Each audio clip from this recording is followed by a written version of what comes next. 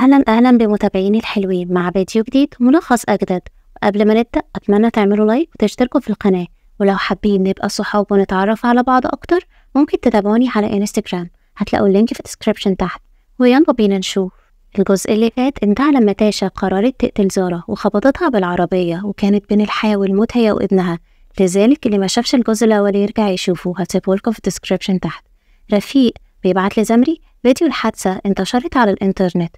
بيلاحظ رقم عربية في الفيديو هو رقم عربية سارة فبيقلق زمري وبيتصل بالمستشفى اللي نقلوا المريضة عليها وبيعيط زمري من الصدمة وبيروح المستشفى وبيبلغوا الدكتور إن الحادثة كانت شديدة وأدت لكسر رجلها وكمان جروح في الرئة ده غير إنها كانت حامل وأجهضت بنتها فهيضطروا يعملوا عملية عاجلة وبيحزن زمري أكتر لما بيعرف خبر حملها.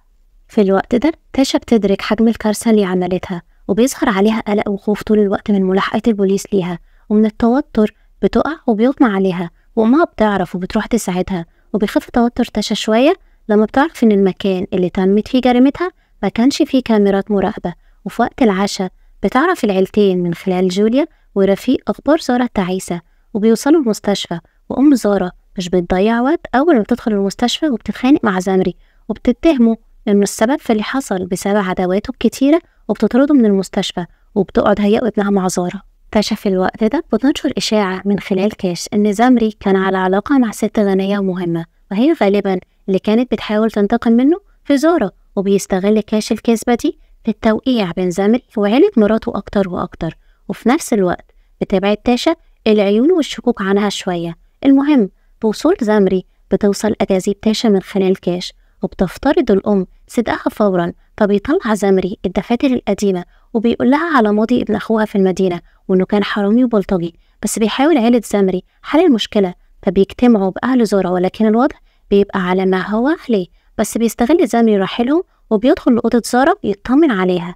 تاني يوم بيوصل ظابط للمستشفى والظابط بيجيب أخبار جديدة عن الحادثة وإن في شاهد عيان شاف شكل العربية اللي صدمت زارا وهي عربية رياضية بيضة وطبعا المواصفات بتوجه كل شكوك زمري لشخص واحد والشخص ده هو تاشا بيروح يقابلها ولكن قبل دقايق من وصولها بيوصلها خبر إصابتها بالإيدز. المهم إنه لما بيوصل وبيتهمها بتقوله إنه ما يعرفش رقم العربية اللي خبطتها وإنه لو عنده أي دليل يقدم بلاغ فيها للشرطة. بس لو قدم بلاغ يستعد بقى لقضايا التشهير والفضايح اللي هتحصل له. بيجي شون وبيطلب من زمري يمشي قبل ما يجيب له البوليس فبيمشي وبيوعد تاشا إنه هيلاقي دليل يحبسها بيه ولما بتدخل تاشا مع شون البيت وتحت الضغط بتعترف لشون بجريمتها وبتسمعها أمها وبتقول لها إنها تقدر تخرج من البيت دلوقتي لأنها مجرمة وعملت حاجات مفيش أم تستحملها ولسه بترمي اللوم على الكل إلا نفسها وفعلا بتسيب تاشا البيت وبتهرب. بتسمع أم زارا خبر إجهاض بنتها بالصدفة من جوليا وبتروح لعيلة زمري تصدمهم هما كمان بالخبر وبتقول إن زمري خبى خبر الإجهاض عشان يمنعهم إنه يلوموه على إهماله لزوجته وبتفترض إنه كان يعرف من قبل الحادثة وفجأة بتبدأ زارا تستعيد وعيها وأول كلمتين بتقولهم لما بتصحى فين زمري وبتطلب من أمها تتصل بيه عشان عايزة تشوفه. في نفس الوقت رفيق وجوليا علاقتهم بتتطور وبيقعد معاها في كافيه بتحكي له قصة حياتها وبيقول لها إنها لو مراته عمره ما كان هيخونها أو يعملها وحش زي دالن بيوصل زمري المستشفى وفرحته توصل للسما برجوعها للحياة تاني. وبتقول له إنها حامل وهي سعيدة جدا لكن دموعه بتفضح الكلام اللي ما نطقش بيه لسانه وبتعرف إنها أجهضت وبتنهار نفسيا بعد ما كانت سعيدة وبتفقد الوعي. بيسيب زمري المستشفى تاني بسبب رغبة والدة زارا ولما بتصحى زارا تاني بتكون حزينة من عدم وجوده وبتطلب إنهم يتصلوا بيه فورا عشان يهتم بيها. ولما أمها بتسمع الكلام ده بتتخانق معاها لأنها رافضة حد يهتم بيها غيره وكأنه آخر راجل على الأرض. وتاني يوم بيسمع شون تاشا بتخطط مع كاش تاني لتدمير بيت زمري وبيحبط منها لأنه بيكون فاكر إنها اتغيرت بعد الحادثة لكنها زي ما هي مجنونة وأنانية. فبتقول له إنه لو مصر على جوازه منها فهي مش هتتجوزه إلا لو قتل زارا وبتحاول تضم شون لعصابتها. زارا حالتها بتستقر وزمري بيراعيها ورغم رغبة زارا أمها بتعارض إنها ترجع مع زمري بيته والخناقات بتستمر وبتعمل أمها مسرحية درامية كده بتقول لها إنها لو راحت مع زمري مش هتسامحها أبدا. وبعد الضغط النفسي اللي بتعمله عليها زارا بتتعب تاني وبتفقد وعيها. فبيأجل الدكتور خروجها وبيطلب منهم يبطلوا ضغط عليها. وبيفرض أبو زارا على أمها قراره بإن زمري هو اللي هيهتم بيها. بيرجع زمري بزارة للبيت وبيحضروا ليها استقبال جميل نفذه الأب وعامر. سعادة زارة وزام بتتضاعف يوم عن يوم وهو بيساعدها جدا وبيهتم بيها على حساب شغله.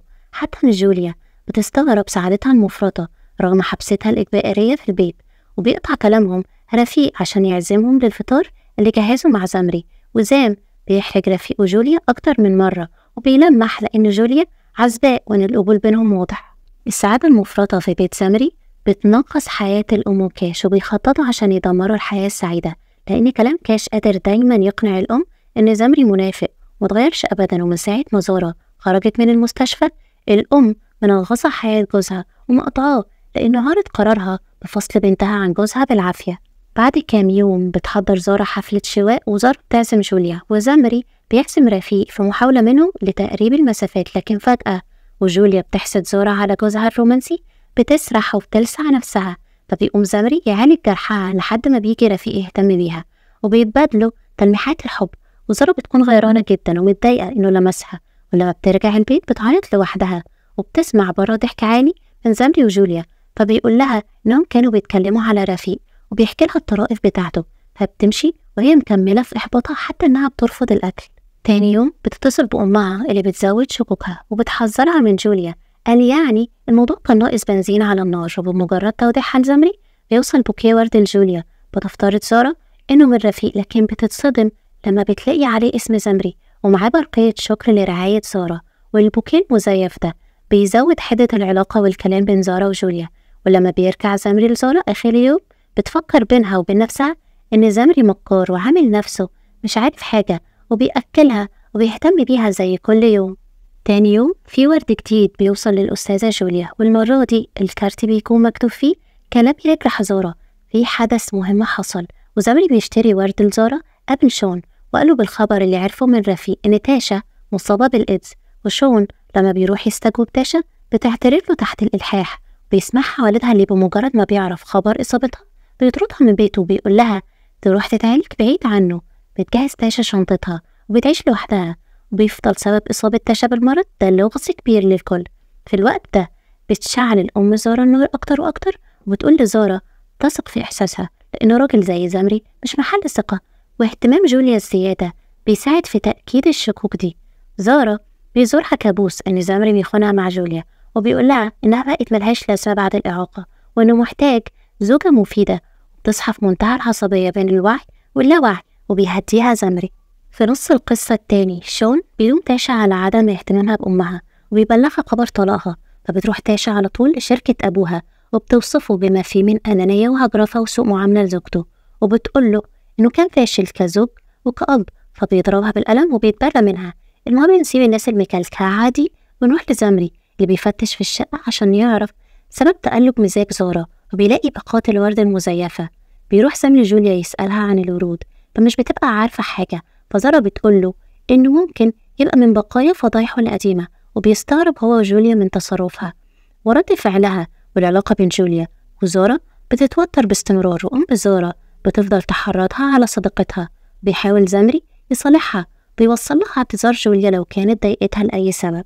كاش بيتصل بتاشا يبلغها بمخططه الحالي لتدمير العلاقة وبيقول لها على خطة ورد جوليا وبتعجبها اللعبة وبتقرر تشارك هي كمان في اللعبة وبتروح له الشركة وتوصل له رسالة مع السكرتيرة إنها عايزة تاخد عامر تاني بس شون بيعارض خطتها وبيقول لها تسيب عامر سعيد وما تدمرش حياته زي ما بتعمل في كل اللي بيحبوها بس هي مش بتهتم وبتستمر في خطتها. في الوقت ده زورا دماغها بتتلاحس خالص يا عيني وبتقرأ على النت قصص لخيانات زوجية ولما بتخرج من أوضتها بتلاقي زمري ماسك إيد جوليا. فبتفترض على طول خيانته. ما تعرفش إنه بيسندها لأنها مريضة لحد ما يجي رفيق من الصلاة. ما تعرفش إن رفيق كمان في البيت أصلا. وبتتهمه بالخيانة وبترجع أوضتها توريه الجوابات اللي مع الورود وبتقوله ما يمثلش البراءة. ولما بينكر ويقول لها إن ده مش خط إيده مش بتصدقه تاني يوم بيكلمها بعد ما هديت شوية وبيقول لها إنه عمره ما فكر في جوليا. وإنه هيحقق في قضية الورد ده وهيعرف اللي بعته وبيتصالحوا وبتندم زارة على ظلمها لصديقتها وياخدها زمري معاه الشغل ولكن مش بيطول لأن تاشا بتبعت له رسالة وبتطلب مقابلته عشان يتكلموا في موضوع عامر. فبيسيب زارة في الشغل وبيمشي وبيقابل تاشا وبيقول لها إنها ملهاش أي حق في عامر وإنه وأهله معاهم حقوق الحضانة وبيهددها بنشر خبر إصابتها بالإيدز لو استمرت في إزعاجه. في الوقت اللي ساب فيه زي مزارة في شغله عرفت من السكرتيرة إن زمري محضر وظيفة في الشركة لجوليا وبتتولد الشكوك تاني وبتقضي ليلة من الحزن والإحباط وبتكمل قراية في قصص الخيانات الزوجية على الإنترنت اللي بتغذي خيالات الخيانة في مخها.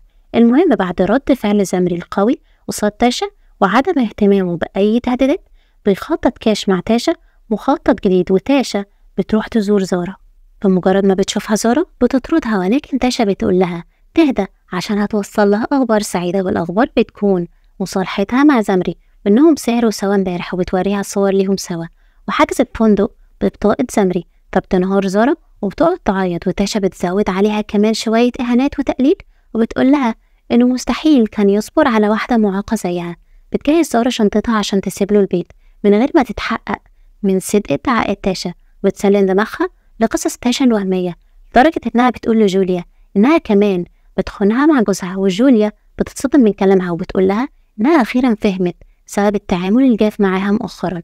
وبترفض حتى تسمع من جوليا دفاعها عن نفسها وبتطردها. زارا الغيرة جننتها ومش مصدقة أي حد وبتتصل جوليا برفيق وبتطلب منه يبعت زمري البيت عشان يلحق زارا بس للأسف عربية إدل بتسبقه وبياخدها مع لأمها وخطتهم بتنجح. وبيوقعوا تاني بينها وبين جوزها. وزمري بيتصل بيها وبيحاول يفهمها ألعاب تاشا. بس هي مش بتصدق وبتطلب منه الطلاق وعلى الرغم من حزنها وإحباطها الواضحين زارا مقالتش حاجة لحد عن مشكلتها مع زمري وإدل بيعرف القصة من كاش وبيحكيها لأمه والأم بتتعجب من معرفة كاش كل التفاصيل رغم إن زارا ما حكتش حاجة وبتعرف من إدل إنه مقرب من تاشا ووصل الأخبار من خلالها. جوليا في الوقت ده بترفض عرض الوظيفة من زمري وبترجع القرية تدور على شغل هناك عشان ما تعملش مشاكل أكتر بين الزوجين. وهي مع رفيق في طريقها للسفر بتتصل بزارا من تليفون رفيق لأن زارا مش هترد لو اتصلت بتليفونها وبتقول لها إنها لو معاها دليل. على الخيانة تظهره وهي هتختفي من حياتها وبتقول لها إنها في قمة الألم والحزن. كانت فاكرة إن مكانتها عندها أكبر من كده وإن الثقة بينهم أكبر. للحقيقة زارا بيظهر عليها الارتباك أكتر وأكتر وبعد المكالمة بيقلق رفيق من إن المرة دي تكون آخر مرة يشوف فيها جوليا بيعترف لها بمشاعره وهي كمان بتبادلوا نفس الحب. وفي الليل وزمري لوحده بيته بيلاقي تاشا قدامه وبتقوله إنها جاية تشمت فيه بعد ما خسر مراته. فبيقول إنها الأسوأ كابنة وكصديقة وكأم.